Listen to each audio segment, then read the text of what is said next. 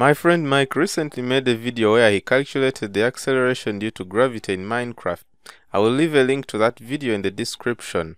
In his video, Mike does an experiment using this model, which is commonly known as the second equation of motion, and he actually shows how insufficient this model is since it does not take into account the effects of viscous drag on the subject.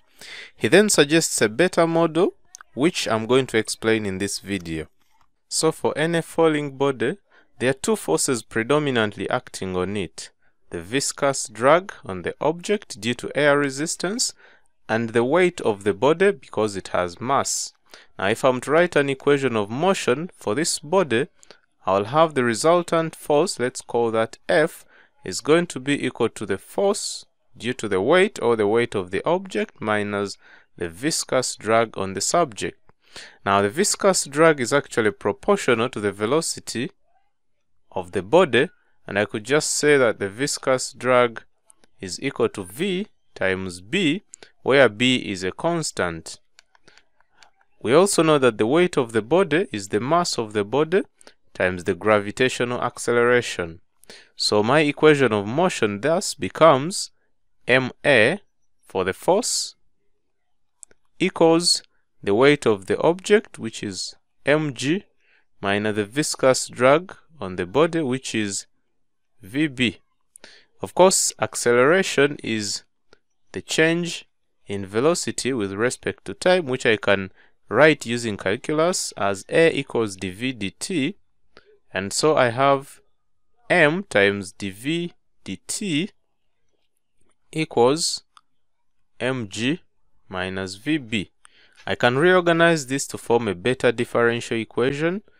That's going to be m dv dt plus vb equals mg.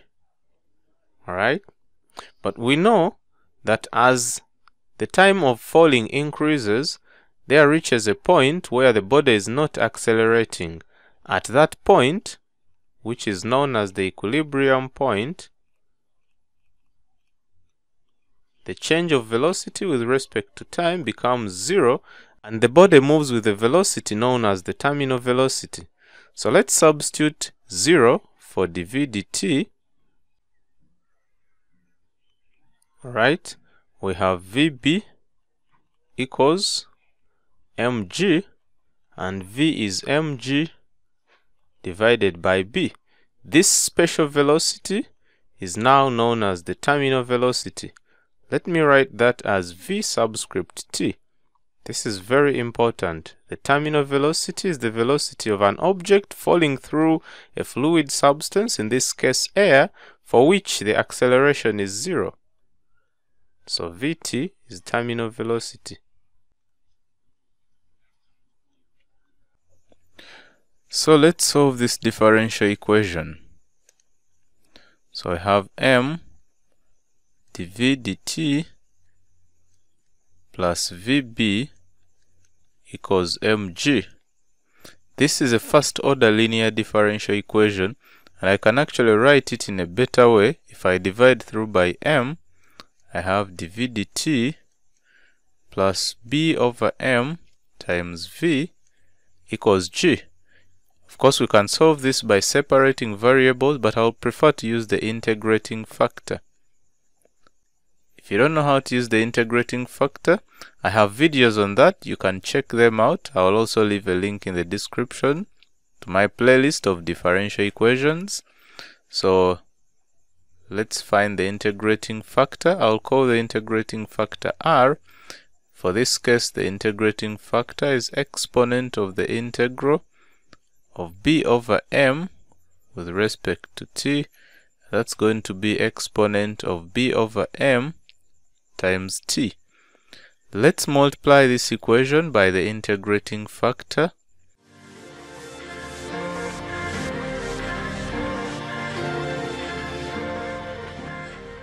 This now should be exact and you can actually check that the left hand side of this equation is d dt of v exponent b over m times t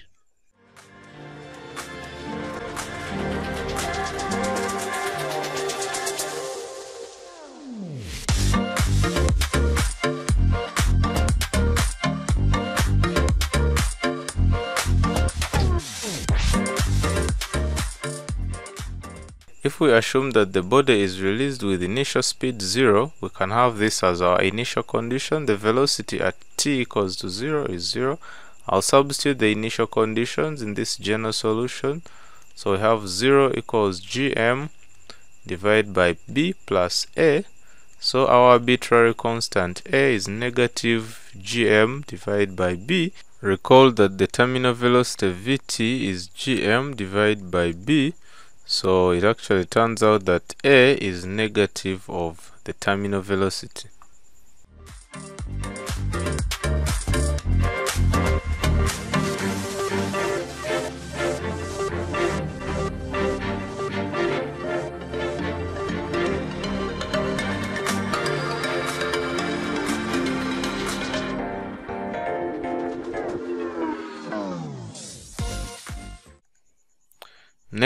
If we let y to be the displacement in the vertical direction, then I can write the velocity as dy dt, which is the change in displacement with respect to time.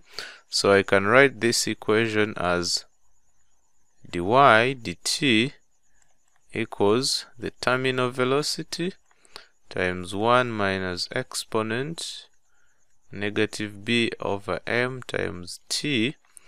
And I can multiply dt on both sides so I have dy equals the terminal velocity vt into 1 minus exponent negative b out of m times t with respect to t. Let's take integrals on both sides. I'll take the integral from 0 to some arbitrary displacement y. I'll also take the time from 0 to some time t.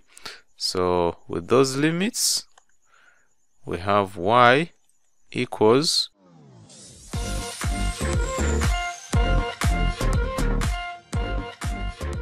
and so y equals if you just allow me to put some other constants here like g and here even here and here. Basically this does not change the meaning because I can just cancel them out as well. But then I now have Vt into t plus Vt exponent negative b out of m times t divided by g minus Vt divided by G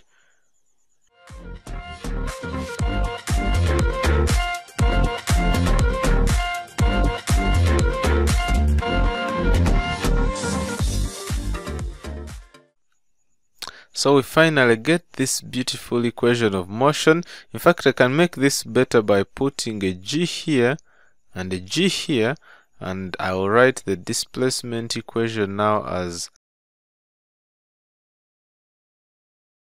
plus the terminal velocity squared over g exponent. Now watch here I have b over mg which actually is the terminal velocity down here and then I've got negative g times t. I'll tell you why I did that in a moment minus vt squared divided by g Finally, that's uh, our equation that relates the terminal velocity, the displacement, the acceleration due to gravity, and the time for a body falling uh, freely through a fluid. Now, this is a very beautiful model uh, to any mathematician and scientist because all the quantities here are known and I think this is the reason Mike used this model because he could actually measure the displacement by calculating the number of blocks, counting the number of blocks, he could measure the terminal velocity, he could measure the time and so the model accurately predicted the value of acceleration due to gravity in Minecraft. Thanks for watching this video till the end. Don't forget to check out and subscribe to Mike's channel, Dr. Weselcouch. He makes great videos about math and Minecraft. I'll see you in my next video. Bye bye.